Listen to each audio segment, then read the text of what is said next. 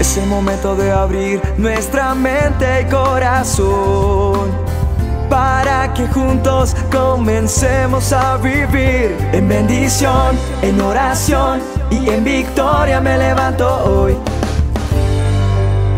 La dosis diaria con William Arana.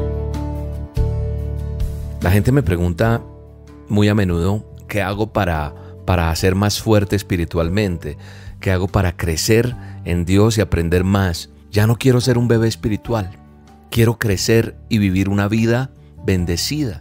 Y yo creo que todos nosotros estamos destinados a vivir esa vida bendecida. ¿Y qué es lo mejor? La recomendación que hoy te quiero dar en esta dosis es que guardes la palabra de Dios en tu corazón. Y esa es la manera más importante de poder comenzar a vivir una vida espiritual de victoria, de madurez, de crecer en Dios y de poder enfrentar muchas cosas que el enemigo no va a querer que usted enfrente, que usted viva.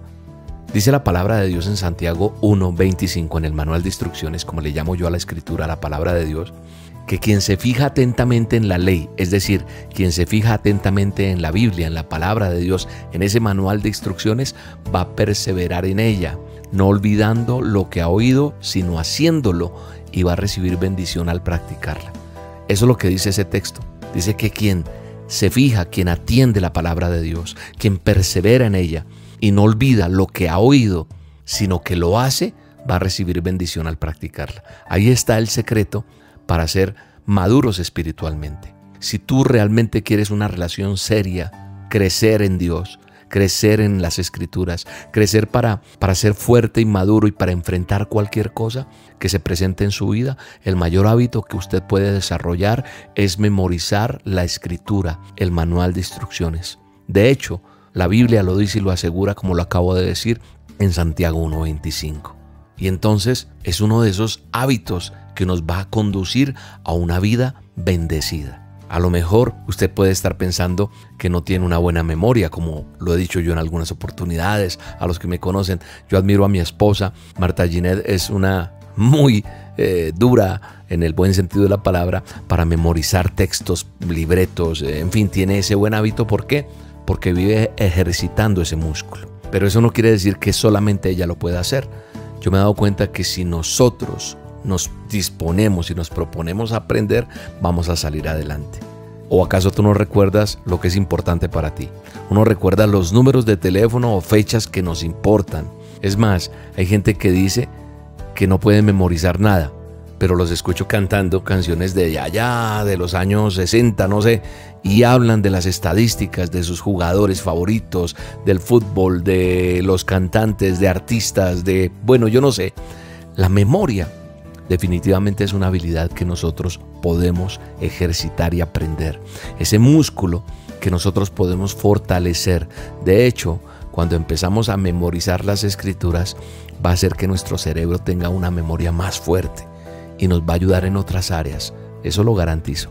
Así que hay que estudiar, hay que estudiar, hay que ver los resultados que te van a llegar por aprender la palabra y declararla y vivirla. Entonces por eso es importante memorizar las escrituras. Comencemos hoy. Elijamos un texto.